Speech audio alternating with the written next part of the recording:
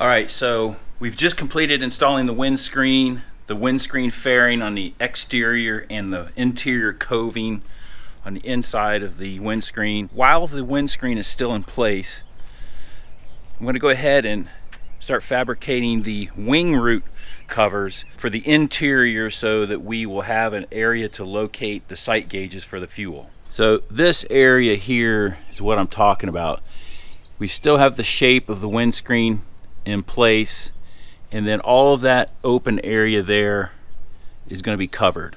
So the first thing I did was I took some poster board and just outlined everything on that wing root.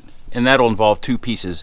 One piece will be this whole section here and then one piece will be that front section here that follows the curve of the outside of the windscreen.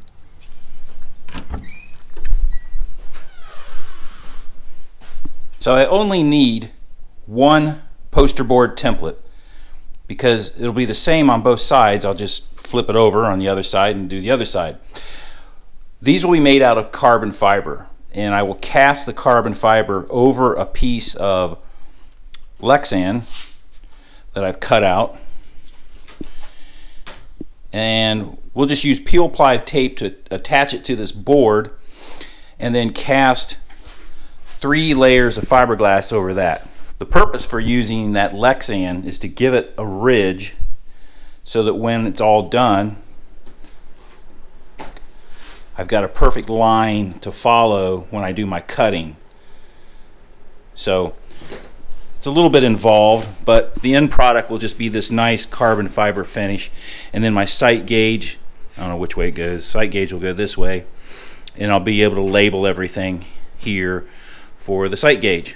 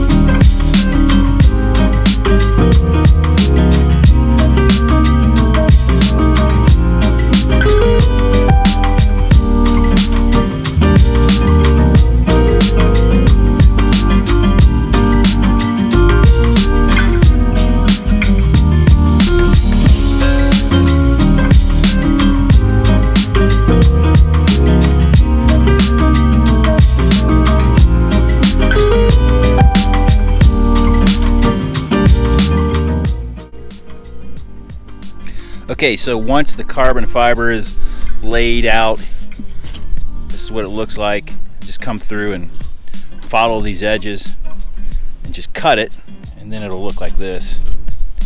This will be the final product here, two pieces. And uh, one thing I'm going to do is I will apply a layer of Kevlar to the back I've been reading a little bit about carbon fiber. Once you, uh, carbon fiber can be very brittle and if something were to happen, these things could shatter and turn into shards that could cause some damage. So just a, just a, just a thin layer of Kevlar on the back will keep that from happening. All right, so here we've got the left side fitted and it looks really good. I like how it turned out. Two pieces piece here intersects, overlaps, and it really nice shape on the uh, windscreen here. And then that'll piece will tuck in under that post. That'll look a little bit more seamless that way. And then this is going to be the sight gauges. We got these from uh, Cub Crafters and uh, they will just be installed like this and we will have uh, vinyl indicators for the levels. But overall I like how this turned out. Also I'm going to reroute my fuel lines so that they actually go up this post and behind that carbon fiber panel and then into the wing root from there. On this side we'll just have to make a little uh, some sort of a grommet and turn that fuel line so that we'll also go into the wing root from there.